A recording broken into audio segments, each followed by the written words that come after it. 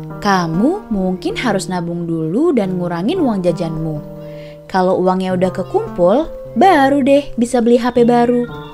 Tapi gimana sama Indonesia? Yang mau bangun jalan tol atau mau buat ibu kota baru?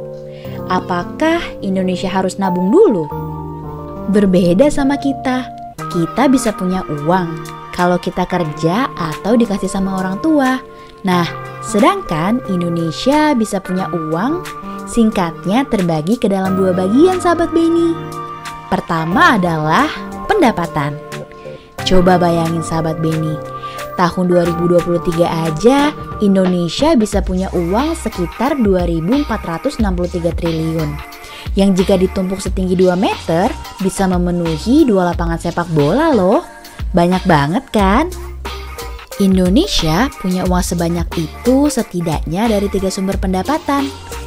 Yang pertama, dari hibah atau sumber pendapatan yang diperoleh dari bantuan luar negeri atau lembaga internasional yang tidak perlu dikembalikan.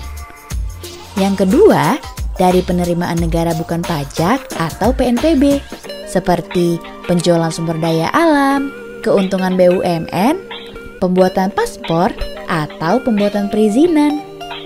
Dan yang ketiga, dari uang kamu. Iya, dari uang kamu yang kamu berikan ke pemerintah atau biasa disebut dengan pajak. Dan pajak ini merupakan sumber pendapatan Indonesia yang paling banyak loh. Tahun 2023 aja Indonesia bisa mendapatkan uang dari pajak yang rakyat berikan sebanyak 2021 triliun rupiah. Dan yang kedua yaitu dari pembiayaan. Bedanya pendapatan dan pembiayaan yaitu jika sumber pendapatan, uang yang diperoleh sama Indonesia akan digunakan untuk membiayai pengeluaran negara dan pengeluaran lainnya sesuai dengan alokasi yang sudah ditentukan. Nah, kalau pembiayaan itu digunakan untuk menutupi kekurangan. Apabila pendapatannya tidak cukup, maka Indonesia harus mencari sumber pembiayaan lainnya. Dari mana aja sih sumber pembiayaan Indonesia? Pertama, penerimaan dari pinjaman, yaitu pemerintah dapat melakukan pinjaman baik dari dalam negeri maupun luar negeri dalam berbagai bentuk yang sudah disepakati, yang nanti bentuknya adalah hutang. Mungkin kamu udah sering dengar ya kalau tahun ke tahun hutang Indonesia semakin naik nih.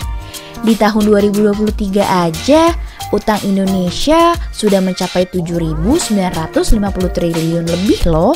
Wah, banyak banget ya. Tapi menurut staf khusus Kementerian Keuangan, hutang ini masih aman karena sesuai dengan ketentuan Undang-Undang Nomor 17 Tahun 2003 tentang Keuangan Negara. Sumber pembiayaan kedua yaitu dari dana cadangan yang telah disimpan dari periode anggaran sebelumnya.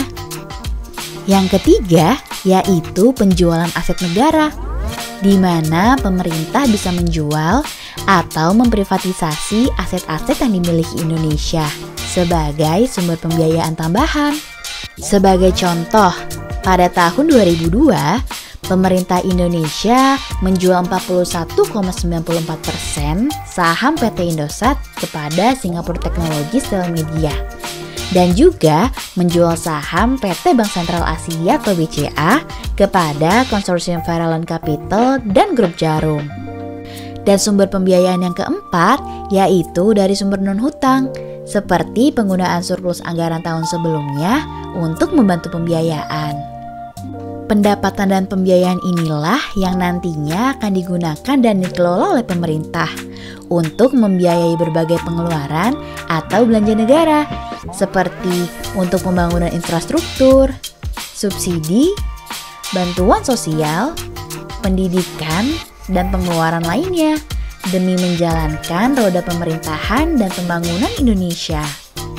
Nah, jadi itu ya sahabat Beni, berbeda sama kita yang kalau mau beli sesuatu harus nabung dulu. Kalau Indonesia salah satu pendapatannya itu dari uang pajak kita yang nantinya akan dikelola sama pemerintah untuk berbagai macam kebutuhan Indonesia. Semoga video pembelajaran kali ini bermanfaat ya. Jangan lupa like, comment, dan subscribe. Sampai jumpa dan jangan lupa untuk selalu bahagia ya sahabat Beni.